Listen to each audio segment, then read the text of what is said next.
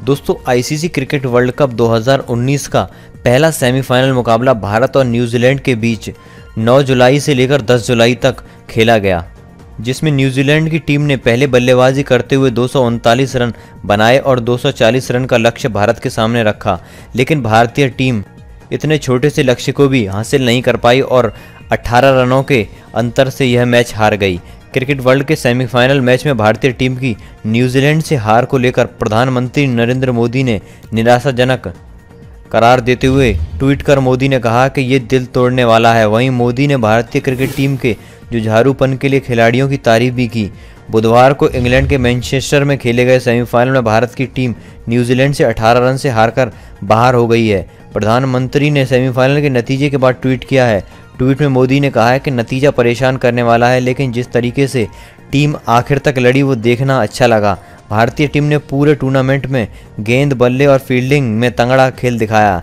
इसके लिए हमें टीम पर गर्व है। हार जीत खेल का हिस्सा है। हम टीम को भविष्य के लिए शुभकामनाएँ देते हैं। मैनचेस्टर के ओल्ड ट्रैफर्ड में खेले गए सेमीफाइनल में न्यूजीलैंड की क्रिकेट टीम ने टॉस जीतने के बाद पहले बल्लेबाजी की। भारतीय गेंदबाजों की अच्छी गेंदबाजी के सामने न्यूजीलैंड की टीम ने दो सौ उनतालीस रन बनाए। इसके जवाब में उत्तरी भारत की टीम की शुरुआत बेहद खराब रही और उसके ऊपरी क्रम के चार बल्लेबाज पूरी तरीके से फेल नज़र आए।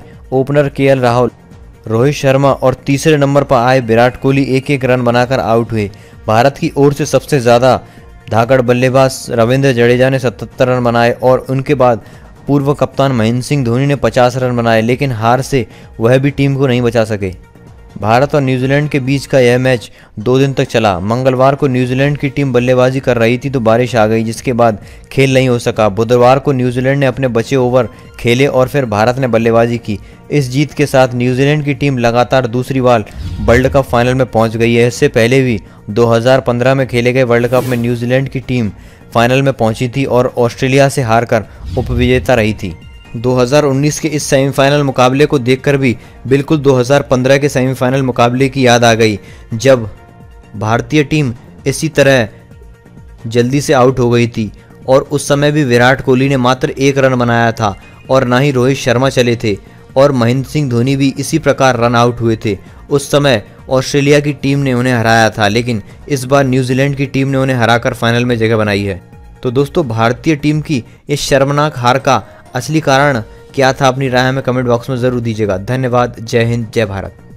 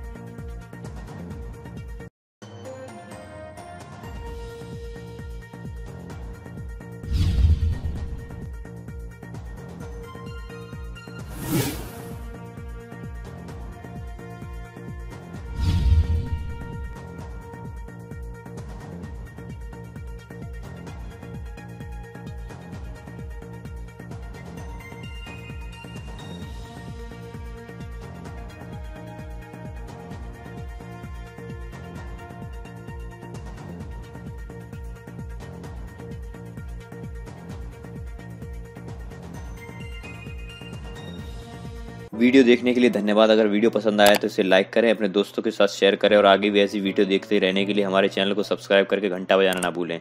धन्यवाद। आपका दिन शुभ